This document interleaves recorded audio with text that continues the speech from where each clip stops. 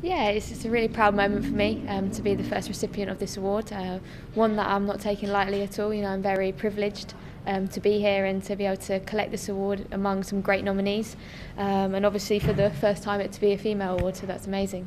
Yeah, it's been a bit of a crazy year for me. I think obviously at the start I probably never dreamed that you know I'd be able to get as many awards as I have done, um, and obviously winning the FA Cup um, has been kind of the icing on the top, and hopefully you know we win the league as well. So that's the most important thing. Yeah, it's going well. Um, you know, obviously we're still in qualification, so we need to make sure that, that we qualify first. I'm sure we will. Uh, we've got a very confident and strong squad um, going into it. And, you know, World Cups are what you dream of when you were younger. You know, to play in a World Cup is absolutely amazing. Obviously, I was able to play um, in my first one in 2015, you know, get a bronze medal. So hopefully this time can come away with a gold.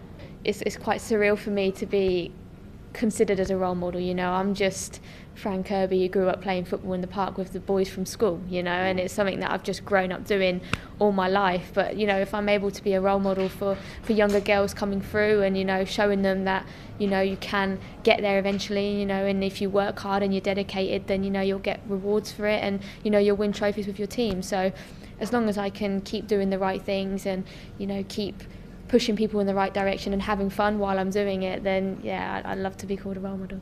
Um, you know, I just want to keep building, uh, keep developing myself as a footballer, and keep winning. Uh, I was saying, obviously, in the car when I was coming, you know, I hate losing. I can't stand it, whether it's in training or, you know, even if it's like a board game, it drives me insane. Um, so I want to keep winning as much as I can, uh, winning trophies, uh, winning everything in general. Um, so hopefully I can continue to do that and continue having good performances. And maybe back next year as the uh, second Women's Footballer of the Year.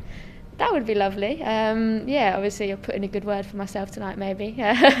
but yeah, um, you know, obviously I just want to keep playing as well as I can for my club, and if if I'm able to get individual awards along that, then I'm doing something right.